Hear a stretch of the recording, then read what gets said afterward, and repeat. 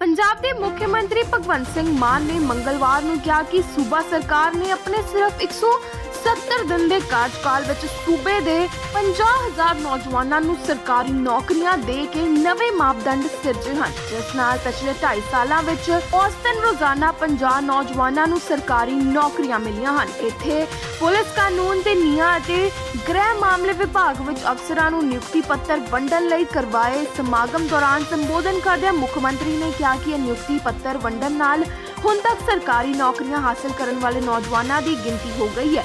ਇਹ ਸਾਰੀਆਂ ਨਿਯੁਕਤੀਆਂ ਪੂਰੀ ਤਰ੍ਹਾਂ ਮੈਰਿਟ ਦੇ ਆਧਾਰ ਉੱਤੇ ਹੋਈਆਂ ਹਨ। ਉਹਨਾਂ ਨੇ ਕਿਹਾ ਕਿ ਨਿਯੁਕਤੀਆਂ ਪੂਰੀ ਤਰ੍ਹਾਂ ਪਾਰਦਰਸ਼ੀ ਪ੍ਰਕਿਰਿਆ ਅਪਣਾਉਣ ਅਤੇ ਨੌਜਵਾਨਾਂ ਵੱਲੋਂ ਬੇहद ਮੁਕਾਬਲੇ ਵਾਲੀ ਪ੍ਰਕਿਰਿਆ ਪਾਸ ਕਰਨ ਮਗਰੋਂ ਨਪੇੜੇ ਚੜੀਆਂ ਹਨ। ਭਗਵੰਤ ਸਿੰਘ ਮਾਨ ਨੇ ਕਿਹਾ ਕਿ ਸਾਡੀ ਸਰਕਾਰ ਦਾ ਸ਼ੁਰੂ ਤੋਂ ਹੀ ਇੱਕ ਏਜੰਡਾ ਸਰਕਾਰੀ ਨੌਕਰੀਆਂ ਮੁਹੱਈਆ ਕਰਕੇ ਨੌਜਵਾਨਾਂ ਨੂੰ ਵੱਧ ਤੋਂ ਵੱਧ ਅਖਤਿਆਰ ਦੇਣਾ ਰਿਹਾ ਹੈ। ਮੁੱਖ ਮੰਤਰੀ ਨੇ ਕਿਹਾ ਕਿ ਨੌਜਵਾਨਾਂ ਨੂੰ ਸਰਕਾਰੀ ਨੌਕਰੀਆਂ ਦੇਣ ਲਈ ਉਹ ਇਸ ਇਤਿਹਾਸਿਕ ਕੈਂਪਸ ਵਿੱਚ ਦੂਜੀ ਵਾਰ ਆਏ ਹਨ। ਉਹਨਾਂ ਨੇ ਅੱਜ ਨਿਯੁਕਤੀ ਪੱਤਰ ਹਾਸਲ ਕਰਨ ਵਾਲੇ ਨੌਜਵਾਨਾਂ ਨੂੰ ਮੁਬਾਰਕਬਾਦ ਵੀ ਦਿੱਤੀ ਹੈ ਅਤੇ ਉਮੀਦ ਜਤਾਈ ਹੈ ਕਿ ਨੌਜਵਾਨ ਅਫਸਰ ਸੂਬੇ ਦੀ ਪੁਰਾਤਨ ਸ਼ਾਨ ਬਹਾਲ ਕਰਨ ਲਈ ਯੋਗਦਾਨ ਪਾਉਣਗੇ। ਭਗਵੰਤ ਸਿੰਘ ਮਾਨ ਨੇ ਕਿਹਾ ਕਿ ਅੱਜ ਦਾ ਇਹ ਦਿਨ ਯਾਦਗਾਰੀ ਹੈ, ਕਿਉਂਕਿ ਇਹਨਾਂ ਨੌਜਵਾਨਾਂ ਨੂੰ ਨੌਕਰੀਆਂ ਮਿਲੀਆਂ ਹਨ ਅਤੇ ਉਹ ਲੋਕਾਂ ਨੂੰ ਸਹੂਲਤ ਦੇਣ ਲਈ ਸਰਕਾਰੀ ਸੇਵਾ ਵਿੱਚ ਵੀ ਆਏ ਹਨ।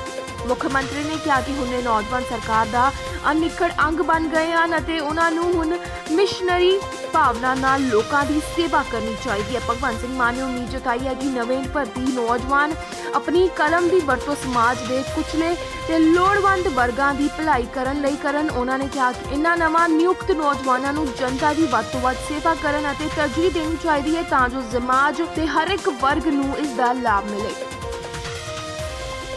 ਪੰਜਾਬ ਦੇ ਮੁੱਖ ਮੰਤਰੀ ਭਗਵੰਤ ਸਿੰਘ ਮਾਨ ਨੇ ਮੰਗਲਵਾਰ ਨੂੰ ਕਿਹਾ ਕਿ ਸੂਬਾ ਸਰਕਾਰ ਨੇ ਆਪਣੇ ਸਿਰਫ 170 ਦਿਨ ਦੇ ਕਾਰਜਕਾਲ ਵਿੱਚ ਸੂਬੇ ਦੇ 50000 ਨੌਜਵਾਨਾਂ ਨੂੰ ਸਰਕਾਰੀ ਨੌਕਰੀਆਂ ਦੇ ਕੇ ਨਵੇਂ ਮਾਪਦੰਡ ਸਿਰਜੇ ਹਨ। ਜਿਸ ਨਾਲ ਪਿਛਲੇ 2.5 ਸਾਲਾਂ ਵਿੱਚ ਔਸਤਨ ਰੋਜ਼ਾਨਾ 50 ਨੌਜਵਾਨਾਂ ਨੂੰ ਸਰਕਾਰੀ ਨੌਕਰੀਆਂ ਮਿਲੀਆਂ ਹਨ। ਇੱਥੇ ਪੁਲਿਸ ਕਾਨੂੰਨ ਤੇ ਨਿਆਂ ਅਤੇ ਗ੍ਰਹਿ ਮਾਮਲੇ ਵਿਭਾਗ ਵਿੱਚ ਅਫਸਰਾਂ ਨੂੰ ਨਿਯੁਕਤੀ ਪੱਤਰ ਵੰਡਣ ਲਈ ਕਰਵਾਏ ਸਮਾਗਮ ਦੌਰਾਨ ਸੰਬੋਧਨ ਕਰਦਿਆਂ ਮੁੱਖ ਮੰਤਰੀ ਨੇ ਕਿਹਾ ਕਿ ਇਹ ਨਿਯੁਕਤੀ ਪੱਤਰ ਵੰਡਣ ਨਾਲ ਹੁਣ ਤੱਕ ਸਰਕਾਰੀ ਨੌਕਰੀਆਂ ਹਾਸਲ ਕਰਨ ਵਾਲੇ ਨੌਜਵਾਨਾਂ ਦੀ ਗਿਣਤੀ ਹੋ ਗਈ ਹੈ।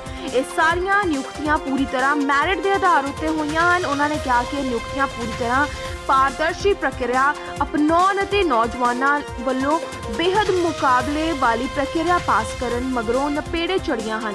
ਭਗਵੰਤ ਸਿੰਘ ਮਾਨ ਨੇ ਕਿਹਾ ਕਿ ਸਾਡੀ ਸਰਕਾਰ ਦਾ ਸ਼ੁਰੂ ਤੋਂ ਹੀ ਇੱਕ ਏਜੰਡਾ ਸਰਕਾਰੀ ਨੌਕਰੀਆਂ ਮੁਹੱਈਆ ਕਰਕੇ ਨੌਜਵਾਨਾਂ ਨੂੰ ਵੱਧ ਤੋਂ ਵੱਧ ਅਖਤਿਆਰ ਦੇਣਾ ਰਿਹਾ ਹੈ। ਮੁੱਖ ਮੰਤਰੀ ਨੇ ਕਿਹਾ ਕਿ ਨੌਜਵਾਨਾਂ ਨੂੰ ਸਰਕਾਰੀ ਨੌਕਰੀਆਂ ਦੇਣ ਲਈ ਉਹ ਇਸ ਇਤਿਹਾਸਿਕ ਕੈਂਪਸ ਵਿੱਚ ਦੂਜੀ ਵਾਰ ਆਏ ਹਨ। ਉਹਨਾਂ ਨੇ ਅੱਜ ਨਿਯੁਕਤੀ ਪੱਤਰ ਹਾਸਲ ਕਰਨ ਵਾਲੇ ਨੌਜਵਾਨਾਂ ਨੂੰ ਮੁਬਾਰਕਬਾਦ ਵੀ ਦਿੱਤੀ ਹੈ ਅਤੇ ਉਮੀਦ ਜਤਾਈ ਹੈ ਕਿ ਨੌਜਵਾਨ ਅਫਸਰ ਸੂਬੇ ਦੀ ਪੁਰਾਤਨ ਸ਼ਾਨ ਬਹਾਲ ਕਰਨ ਲਈ ਯੋਗਦਾਨ ਪਾਉਣਗੇ। ਭਗਵੰਤ ਸਿੰਘ ਮਾਨ ਨੇ ਕਿਹਾ ਕਿ ਅੱਜ ਦਾ ਇਹ ਦਿਨ ਯਾਦਗਾਰੀ ਹੈ, ਕਿਉਂਕਿ ਇਹਨਾਂ ਨੌਜਵਾਨਾਂ ਨੂੰ ਨੌਕਰੀਆਂ ਮਿਲੀਆਂ ਹਨ ਅਤੇ ਉਹ ਲੋਕਾਂ ਨੂੰ ਸਹੂਲਤ ਦੇਣ ਲਈ ਸਰਕਾਰੀ ਸੇਵਾ ਵਿੱਚ ਵੀ ਆਏ ਹਨ। ਮੁੱਖ ਮੰਤਰੀ ਨੇ ਕਿਹਾ ਕਿ ਹੁਣ ਇਹ ਨੌਜਵਾਨ ਸਰਕਾਰ ਦਾ ਅਨਿੱਖੜ ਅੰਗ ਬਣ ਗਏ ਹਨ ਅਤੇ ਉਹਨਾਂ ਨੂੰ ਹੁਣ ਮਿਸ਼ਨਰੀ ਭਾਵਨਾ ਨਾਲ ਲੋਕਾਂ ਦੀ ਸੇਵਾ ਕਰਨੀ ਚਾਹੀਦੀ ਹੈ। ਭਗਵੰਤ ਸਿੰਘ ਮਾਨ ਨੇ ਉਮੀਦ ਜਤਾਈ ਹੈ ਕਿ ਨਵੇਂ ਭਰਤੀ ਨੌਜਵਾਨ ਆਪਣੀ ਕਲਮ ਦੀ ਵਰਤੋਂ ਸਮਾਜ ਦੇ ਕੁਚਲੇ ਤੇ ਲੋੜਵੰਦ ਵਰਗਾਂ ਦੀ ਭਲਾਈ ਕਰਨ ਲਈ ਕਰਨ। ਉਹਨਾਂ ਨੇ ਕਿਹਾ ਕਿ ਇਨ੍ਹਾਂ ਨਵਾਂ ਨਿਯੁਕਤ ਨੌਜਵਾਨਾਂ ਨੂੰ ਜਨਤਾ ਦੀ ਵੱਧ ਤੋਂ ਵੱਧ ਸੇਵਾ ਕਰਨ ਅਤੇ ਤਰਜੀਹ ਦੇਣੀ ਚਾਹੀਦੀ ਹੈ ਤਾਂ ਜੋ ਸਮਾਜ ਤੇ ਹਰ ਇੱਕ ਵਰਗ ਨੂੰ ਇਸ ਦਾ ਲਾਭ ਮਿਲੇ।